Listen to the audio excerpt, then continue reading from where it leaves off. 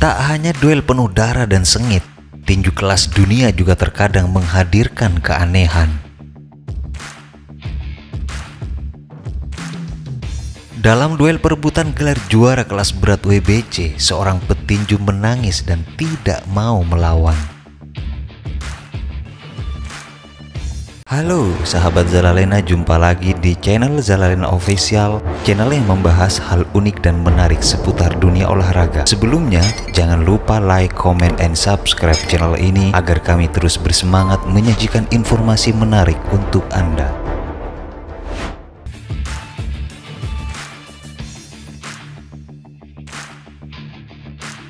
Duel tersebut mempertemukan juara bertahan WBC Oliver McCall melawan Lennox Lewis pada 7 Februari 1997. Ini merupakan duel ulangan kedua petarung.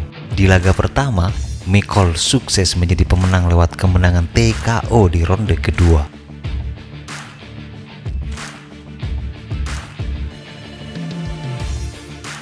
Di laga kedua ini, Louis mampu mengendalikan tiga ronde pertama dengan pukulan kanan kiri yang kuat.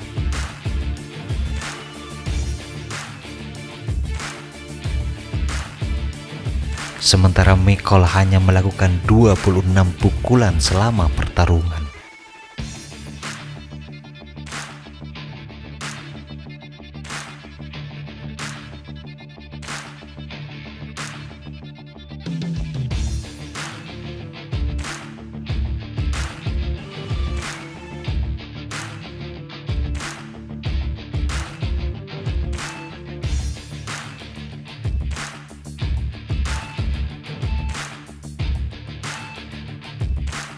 Awalnya laga ini berjalan normal.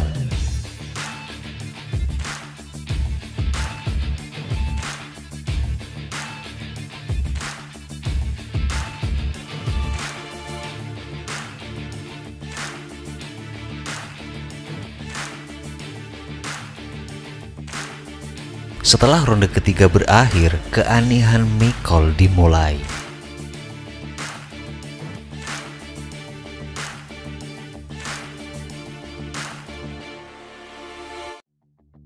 Mikol menolak untuk kembali ke sudutnya. Ia hanya berjalan mengelilingi ring tinju sampai ronde keempat dimulai.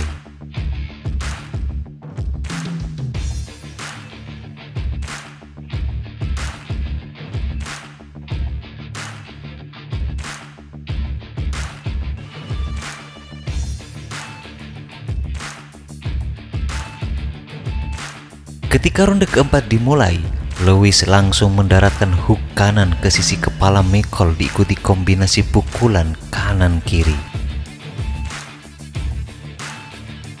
Sedangkan Michael malah menurunkan tangannya dan hanya mencoba menghindar dari Lewis.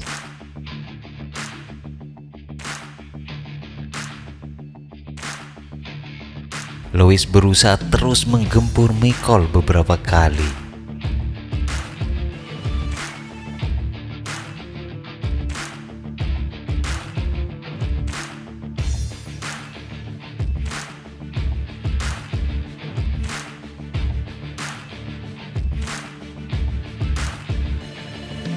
Tetapi Mikol tetap menolak melawan dan menghabiskan seluruh ronde keempat dengan berjalan di sekitar ring.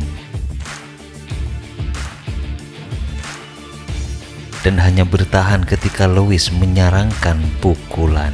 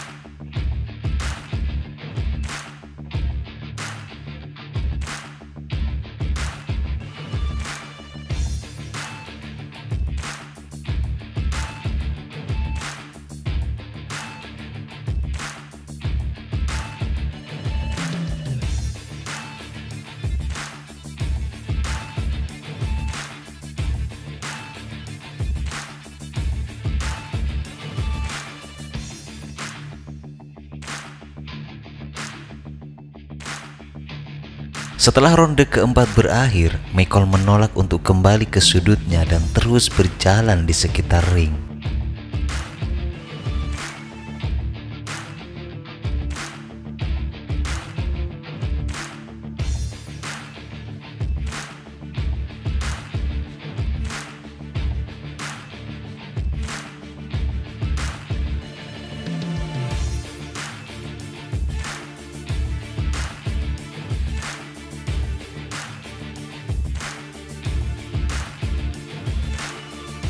Sikap yang membuat kesal timnya. Di momen itu, Michael terekam kamera menangis di sudutnya saat berbicara dengan wasit.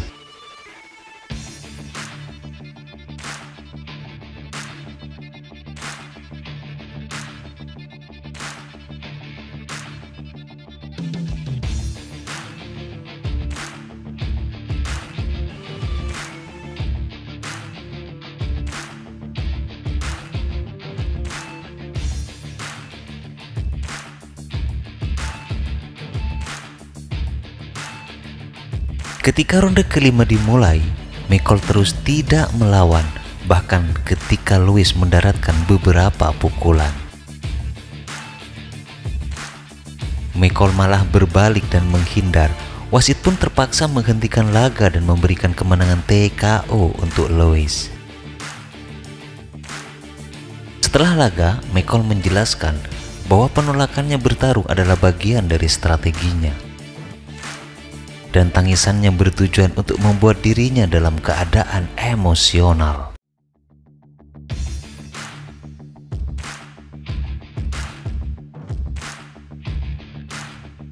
Komisi Atletik Nevada menskor sementara Michael dan mendendanya 3 juta dolar. Dia dianggap sakit mental dan dikirim ke psikiater Virginia Itulah info laga antara Lennox Lewis melawan Oliver Michael. Terima kasih telah menonton, kita jumpa lagi di info menarik lainnya.